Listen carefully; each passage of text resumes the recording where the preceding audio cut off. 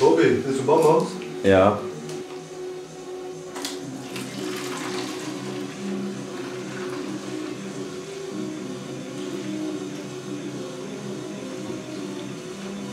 Bitteschön. Nee.